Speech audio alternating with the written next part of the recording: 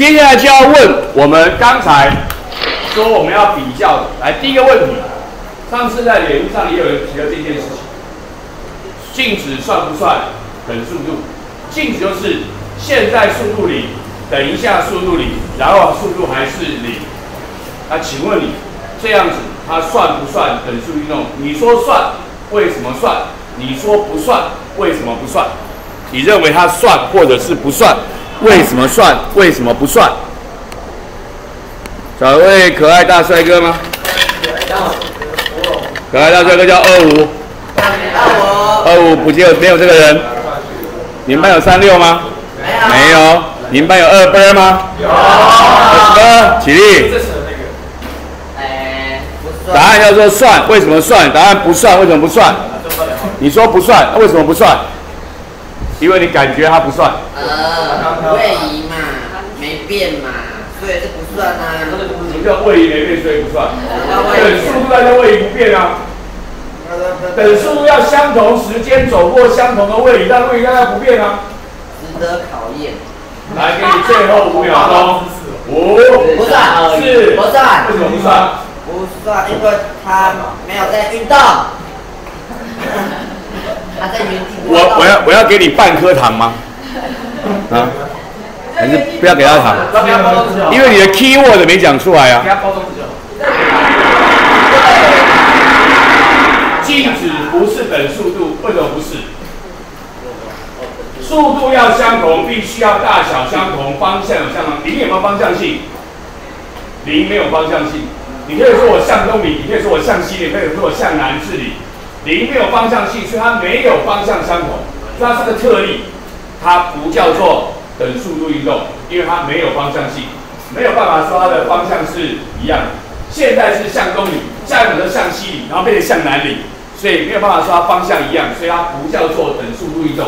等速度必须要大小一样，方向也要一样。零没有方向性，所以它不叫做等速度运动，不叫等速度运动。好，停车暂借问。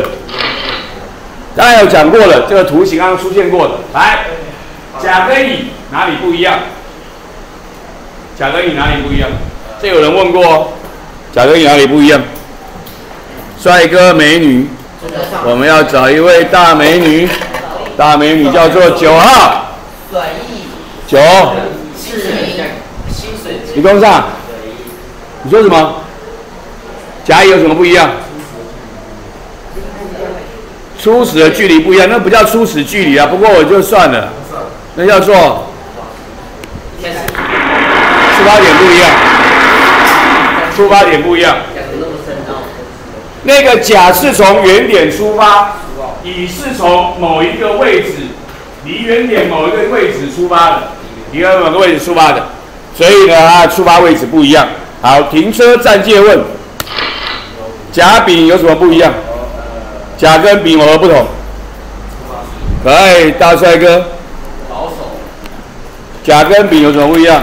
帅哥男叫做。贵班有三五吗？有啊，不在。不在。三五不在。就是那个上就考试睡觉那个。卖面的。卖面的，当阿西那个。二十二。极乐世界。甲跟丙有什么不一样？看你的讲义，甲丙有什么不一样？看我干嘛？看前面干嘛？你可以答一下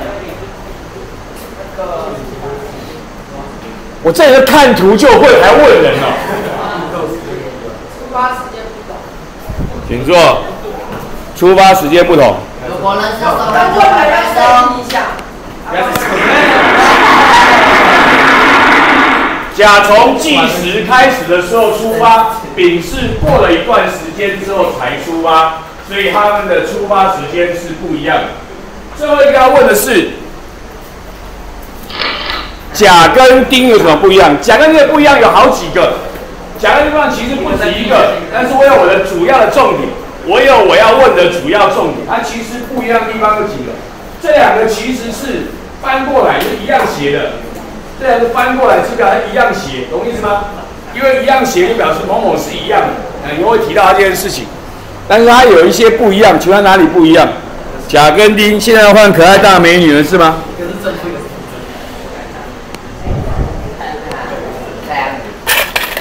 可爱大美女十二号。哎，哪里不一样？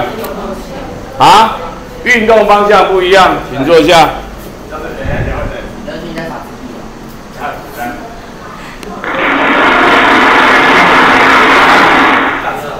因为是一样写，就翻过来一样写，所以表示待会后来会提到，这表它的大小是一样。重点是一个是朝正方向运动，一个是朝负方向运动，一个朝正方向运动，一个朝负方向运动。重点它的运动方向是不一样，运动方向是不一样。OK，就是看图形可以做好的一些判断。有人问过，不用计算，看图就知道，看图就知道了。无人问得了，门。看完了所谓的什么运动之后，接下来就是要比大小。H T 图的直线代表的就是速度，我们当然会再说一次。我们刚才讲过了，H T 图如果是一条斜直线，就代表等速度运动；一条斜直线就是一个等速度，所以有两条斜直线。请问你速度谁比较快？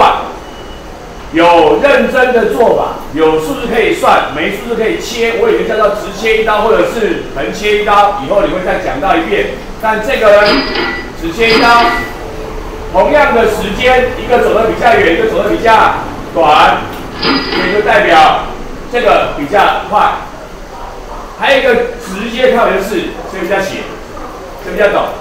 如果自由生，你可能读过什么斜率那件事情吗？对对对，斜率那个是。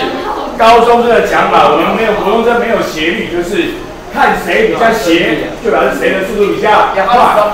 这样子就不需要靠计算，你一眼就望出来了。来，甲跟乙谁的速度快？没有数字表示你也不可能用算的，对不对？可是你一看就知道谁比较快，因为我们教过了，怎样知道他比较快呢？讲谁比较快？我们要找一位，现在找帅哥还是找美女啊？找帅哥吗？找帅哥叫做没有帅哥哎，抽不到帅哥，有三十。最帅的，我们班最帅的，最。谁快啊？为什么？